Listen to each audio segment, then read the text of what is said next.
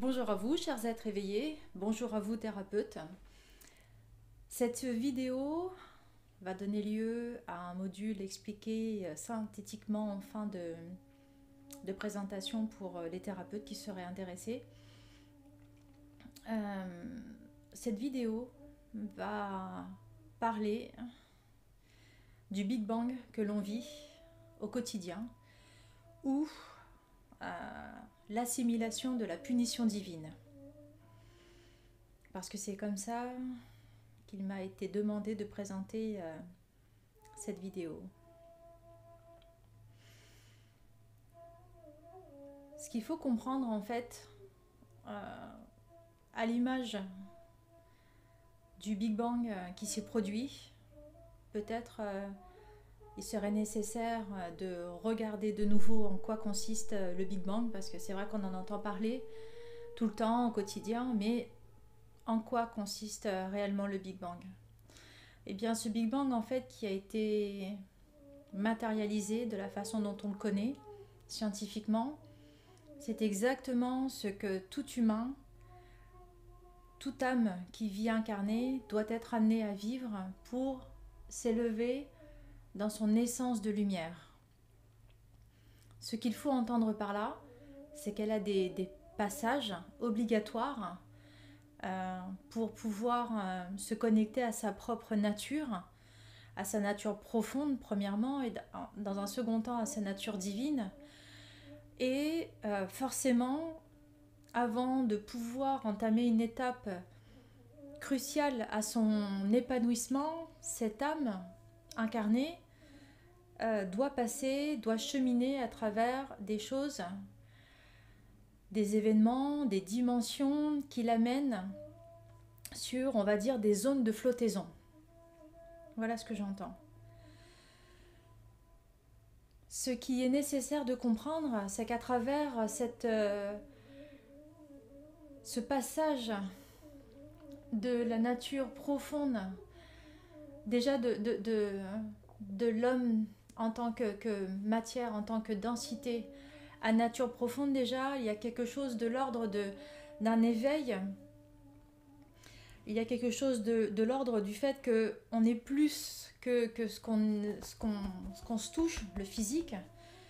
Et déjà ça, c'est euh, déjà en lui-même, c'est un Big Bang déjà. Voilà, à l'image même de la naissance, pour euh, l'âme qui vient, c'est un Big Bang. En fait, il faut vraiment comprendre qu'au fur et à mesure, quand on a cette, cette conscience qu'on vit que des Big Bang, on comprend qu'en fait on se prépare entre deux Big Bang. Voilà. C'est magnifique le fait qu'on nous ait donné cette, cette image scientifique euh, euh, à ce jour de, de, de, voir, de visualiser ce, Big Bang parce qu'en fait, euh, quand on comprend ce phénomène, on comprend qu'en fait cette révolution, on la vit à l'intérieur cet état d'être, on le vit tout le temps à l'intérieur. Et dans ce, dans ce, Big Bang que l'on vit, dans cet entre-deux de Big Bang que l'on vit, à chaque fois, en fait, on doit se renouveler. C'est ce qu'on appelle le mouvement de la vie. Hein. Ce qu'il faut comprendre par là, à toute étape, dans ce renouvellement, on a deux forces opposées en nous, qui va nous permettre de cheminer vers cette essence profonde, vers cette essence divine en nous. Et dans ce processus, il y a cette notion de punition divine. Donc j'en viens.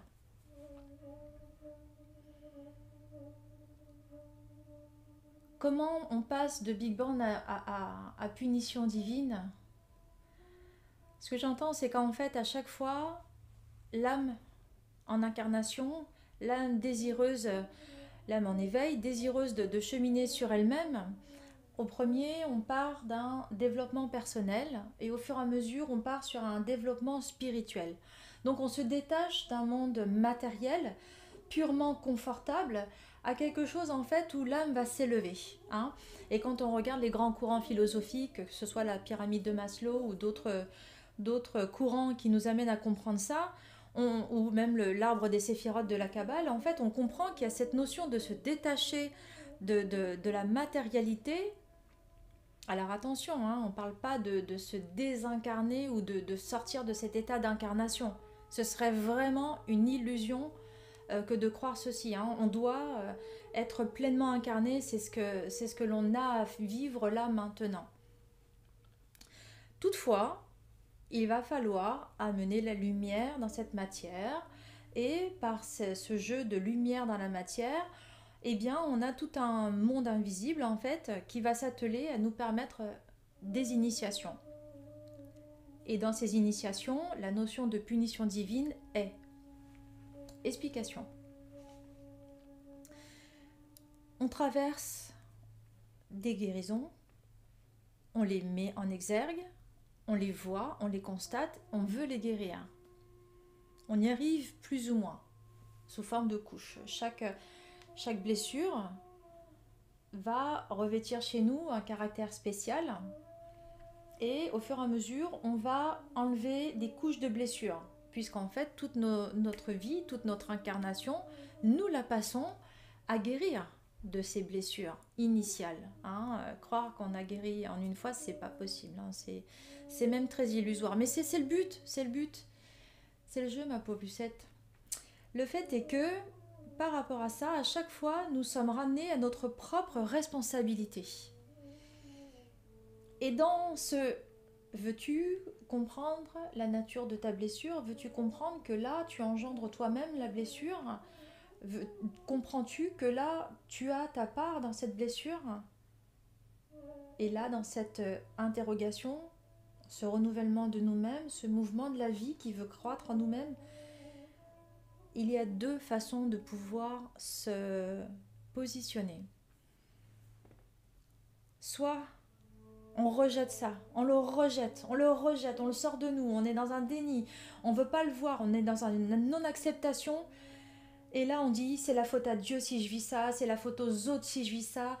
Euh, si j'ai eu un accident, euh, c'est la faute à pas de chance, si, si j'ai euh, une maladie, le cancer, si mon père est touché par un cancer, si etc. Si mon enfant est touché, c'est la faute à Dieu, c'est la faute à...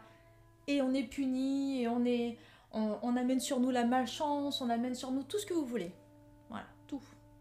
Aucun problème. Vous mettez derrière tout, ce que vous, tout ce que vous avez, tout ce que voilà, c'est la même chose. Tout ça, en termes divins, en termes de lumière qui nous a créés, tout est la même chose. Donc on peut appeler ça la punition divine. Voilà, les coups de malchance, les répétitions euh, de, manque de, ce que l'on n'a pas dans la vie, manque d'argent, manque de situation, manque d'amoureux, d'amoureuses, euh, manque de vie sentimentale, etc., euh, etc le courroux de la vie, tout ce que vous voulez. Voilà, vous mettez tout ça derrière et tout ça, ça fait ce que moi j'appelle, là dans cette vidéo, la punition divine. Voilà. Voilà, c'est ni plus ni moins que ça. C'est ni plus ni moins que ça. Faut pas aller chercher plus loin. Sauf que, tant qu'on passe notre temps en fait à être à l'extérieur de nous et regarder ce qui nous arrive en jetant la faute, nous ne sommes plus dans l'initiation. Et n'allons pas croire que, puisque nous sommes dans un éveil spirituel, puisque on connaît les chakras, on connaît euh, l'invisible, on a des dons, on a des aptitudes, ne croyez pas que vous êtes à l'abri de cette notion de punition divine. Ça, encore une fois, c'est comme la guérison des blessures en une fois, c'est illusoire, vraiment. Mais c'est ça la beauté en fait. C'est ça la beauté de la façon dont on a à vivre les choses en fait. C'est en fait en, pouvant se renouveler au quotidien. C'est en pouvant être dans un amour de nous-mêmes au quotidien. C'est ça le mouvement de la vie que l'on appelle en nous à chaque fois. Et c'est ça qui fait que on a cette conscience de l'arbre de vie en nous. Voilà. Par cette connaissance que l'on acquiert au fur et à mesure, par le fait d'accepter à chaque fois ce que l'on vit, on passe les Big Bangs successifs au fur et à mesure.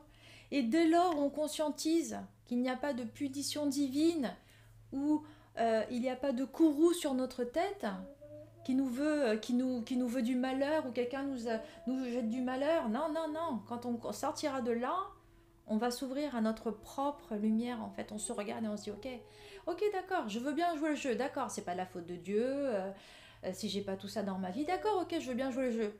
Bah maintenant en fait, euh, aidez-moi alors si c'est ça.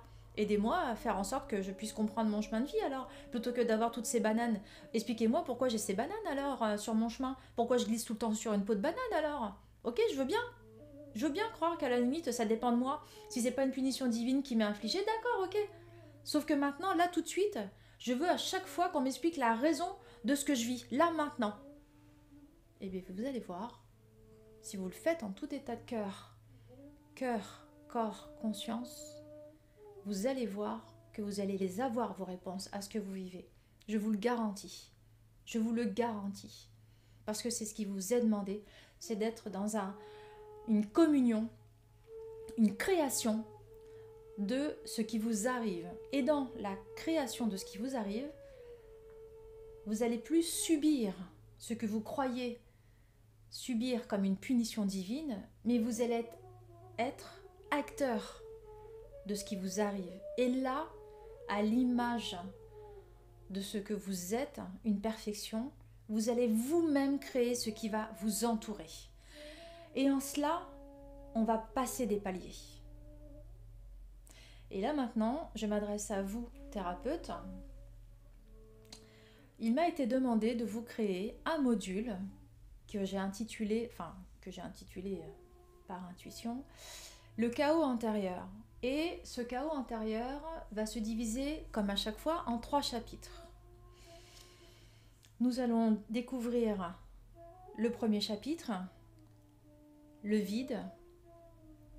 Parce qu'en fait, quand vous avez quelqu'un en face de vous, cher thérapeute, euh, dans un premier temps, cette notion de vide n'est pas très euh, palpable. Parce que la personne, en fait, a très bien euh, réussi à mettre des masques pour faire en sorte de compenser ce vide qu'il occupe. Mais vous, thérapeute, vous avez la charge d'amener la personne en fait à être dans cet équilibre, déjà premièrement d'enlever ses masques de compensation, de de, parce qu'elle ne veut pas avoir le vide, hein, elle est dans un déni. Elles ne, ne le savent pas beaucoup, hein, ces, personnes. Elles ne le savent pas forcément parce que forcément, voilà, tout est bien caché. L'ego fait bien son travail, il préserve la personne. Un ego, encore une fois, c'est protecteur, ça nous permet de ne pas être fou, ça nous permet d'avoir une rationalité sur ce que l'on vit par rapport à des blessures, par rapport à des, choses que l'on sent en nous. Donc l'ego fait bien son travail. Et nous, thérapeutes, nous devons permettre que ce vide, en fait, puisse être ramené à la conscience parce qu'il y a un équilibre à avoir entre les phases de compensation et le vide intérieur. Et ça, c'est à nous, thérapeutes, que revient cette charge, avec toutes les pratiques aussi diverses et variées que l'on a. Tous, nous sommes tous très importants pour amener chaque être qui vient nous voir à accueillir cet équilibre en nous.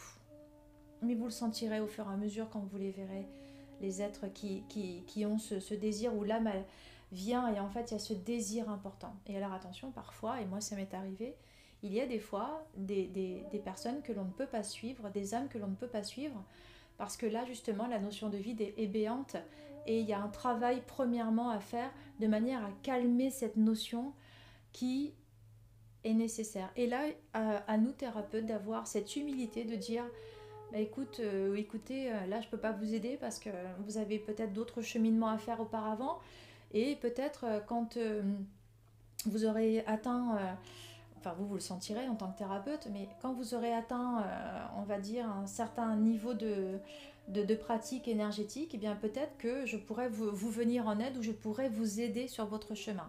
Et moi, ça m'est arrivé plusieurs fois. Ça m'est arrivé plusieurs fois parce que c'est très important de ramener chacun à sa responsabilité. Et dans la mesure où je suis un outil, j'entends les choses par rapport à l'âme qui vient me voir et je respecte l'âme qui vient me voir et je ne veux pas qu'elle souffre davantage. Donc, je, oui, j'accueille, mais surtout je dirige cette âme vers une autre âme qui pourra mieux l'aider, en fait, un autre thérapeute. Parce que ceci, en fait, va nous amener sur une deuxième notion, la séparation. Et la séparation, quand les êtres viennent nous voir, elle est très importante aussi. Cette notion, en fait, va amener sur la notion de la séparation de l'âme à l'initial. Quand l'âme, en fait, sort de son état originel de l'anima solis, elle va au début, euh, elle veut tout expérimenter et, elle veut tout découvrir et elle veut se découvrir à travers toutes les, phases en fait de ses incarnations pour euh, expérimenter les différentes qualités de l'amour, d'accord? Sauf qu'à un moment donné, dans son process, il y a cette vibration de cette séparation qui vient. Et dans la vibration de cette séparation qui vient, en fait, chaque séparation qu'elle va vivre dans son incarnation va faire écho avec cette séparation originelle, en fait. Et des fois, on la sent plus ou moins, encore une fois, selon la façon dont la personne l'a, l'a traité, l'a travaillé ou l'a recouvert. Et ça, c'est important aussi à nous, thérapeutes, de savoir bien se positionner par rapport à cette séparation que l'on ressent dans les êtres qui viennent nous consulter. Et c'est à nous, avec tout ce que l'on est, euh, que revient la charge de d'accueillir chaque âme, de, de, permettre cette phase de séparation pour que cela devienne quelque chose de normal en fait, voyez, pour que l'être puisse vivre sans trembler parce que des fois, en fait, ce n'est plus de la vibration, c'est vraiment de cet ordre-là, tellement c'est omniprésent, cette sensation de, séparation, et encore une fois, avec toutes les notions de compensation qui vont en face. Hein.